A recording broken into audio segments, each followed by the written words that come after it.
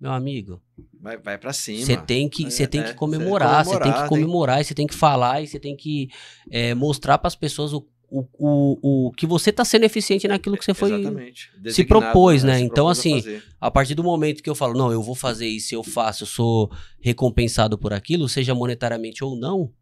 Então, assim, meu, é legal.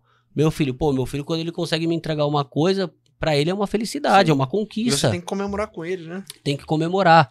E isso também é na nossa vida, pô. Isso também é aqui. Sim. Quando você faz uma boa entrevista, Pô, legal pra caramba.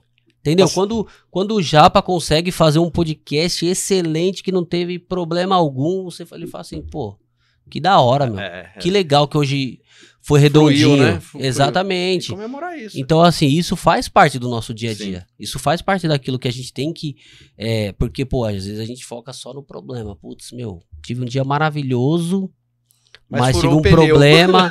Não, e aí já era, acabou meu dia. Ai, meu Deus do céu, pô, hoje o dia não tá pra mim, nossa. O cara acorda segunda de manhã, hora que chega na, na garagem, o pneu tá furado. Ele fala, Não, aí já "Ah, começa a a semana. promete, né? Promete, promete que vai ser, vai ser bom pra caramba. Tá- Talvez, é um se, assim, se a gente for ver, por que, que o pneu furou naquele momento?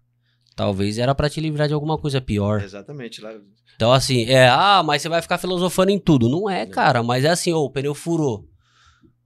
Tô puto. sim. Mas, ô, peraí. Acho que era pra me livrar de Ah. alguma coisa ali na frente. Mas tá tudo certo. Agora eu vou trocar o pneu, bora. A Bíblia diz que todas as coisas cooperam para o bem daqueles Exato. que amam a Deus. Então, você ama a Deus, você é temente a Deus, pô, aconteceu alguma coisa, pô, ele cuida de você. Isso é verdade. Ele, ele cuida de você, ele sabe o que tá acontecendo, ele sabe o que tá acontecendo. E é engraçado que, por exemplo, acontece uma situação dessa quando a gente sai na rua, quando a gente vai na rua, a gente vai fazer alguma coisa, aí você passa, você fala assim, caramba, teve um acidente ali, podia ser eu. É, Porque depois você fica pensando nisso. Você fala, caramba, meu, foi um livramento. exatamente. E assim é também, pô. Sim. Ah, se de repente você tá né, é, numa questão de, de profissional, pô, tô fazendo isso, não deu certo, cara, às vezes é um livramento.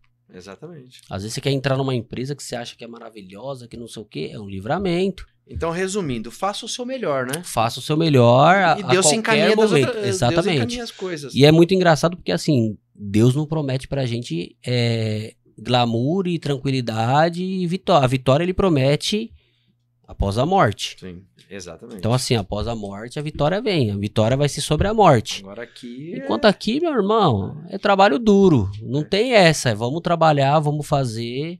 É, Você tem que saber aquilo que você tem que fazer. Você tem que fazer sua liçãozinha de casa ali todos os dias. E ser agradecido, cara.